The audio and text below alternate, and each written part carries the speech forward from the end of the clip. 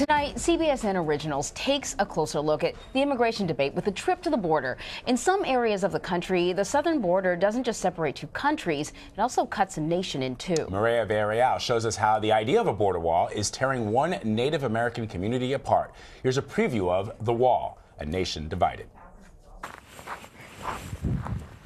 This is crazy. So where's Mexico?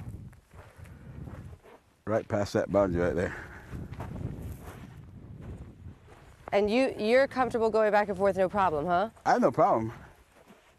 So I'm actually in Mexico right now. You're in Mexico. You're in the U.S. right now. That's where the boundary is. The federal government recognized tribes as sovereign nations. We're not going nowhere. Yeah. We shall remain here. That's amazing. That's where the Creator put us. That's amazing. Wait, wait, wait, wait, wait. Turn around, turn around, turn around, turn around, turn around. you can go right there. There you go. Just outside Tucson, Arizona, the beautiful landscape of the Sonoran Desert has become a prime target. Desperate migrants and criminal smugglers funnel onto the Tohono O'odham's sacred and sovereign land where there is no concrete wall.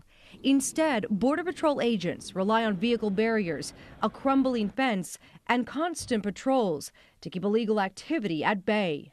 Oh, there's a group. See, there, there's four or five right here in this group on this mountain ridge, and then there's four silhouetted. There's There's three up here. You see three or four up top?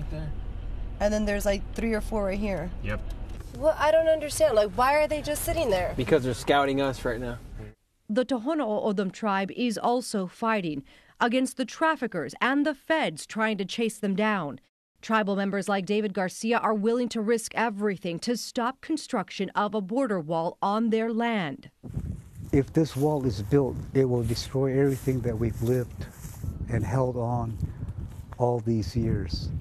The question was asked of me, what are you willing to do? I have already made up my mind. If it means losing my life, then that's what it means. Oh man, Mireya Villarreal is here to discuss this. Uh, Mireya, I just that shot of literally watching someone run across the border while you're doing the interview. I just, um, I don't, I think many of us have, obviously, we've covered this story over and over again. Mm-hmm. It's very rare that we sort of see it in action. And what was even crazier is the more we started to zoom in and kind of move around, you start to notice that there are actually more of these people, this group, that are actually hiding in the bushes behind us. Wow. They're waiting for us. Whether they are trying to use one or two people as a decoy, as the cat and mouse game that, that the Border Patrol talked about, or if they're literally just waiting for us to, you know, get out with our cameras so that they can go ahead and cross. Mm-hmm. I mean, mm-hmm. it was, it was a, an unbelievable experience while we were there. Mm-hmm. One of the things that's highlighted in just the preview that we saw there is the relationship between uh, the tribe and the Border Patrol. A lot of people have suggested, look, throwing you know 20 billion dollars to create a physical barrier could be better spent in building a stronger relationship between the Border Patrol, providing more funds to border agents. What did you learn?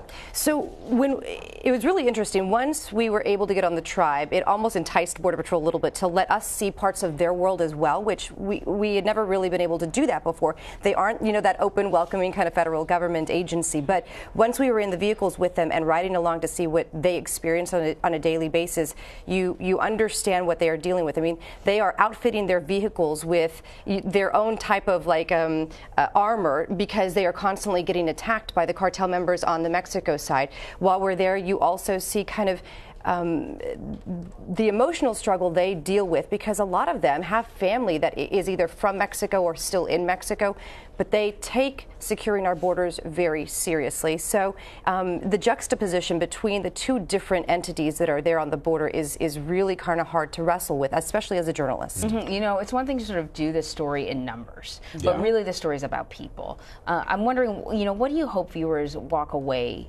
with when they watch this? Uh, you know, one thing I tell people is. Um, after this experience, I almost felt inadequate in the amount of passion I had for the things in my life because you see them on the border and you realize that they don't have a lot, but they don't need a lot. And for them, their sole purpose is to protect the land. That is actually what Tohono O'odham means, desert people. And they have this passion for protecting the land, and they truly feel that if you put a border wall there, it will separate them from their tribe in Mexico. And so they don't have history books. They don't have history classes and lessons. They talk to each other in their native language. They uh, share stories over songs.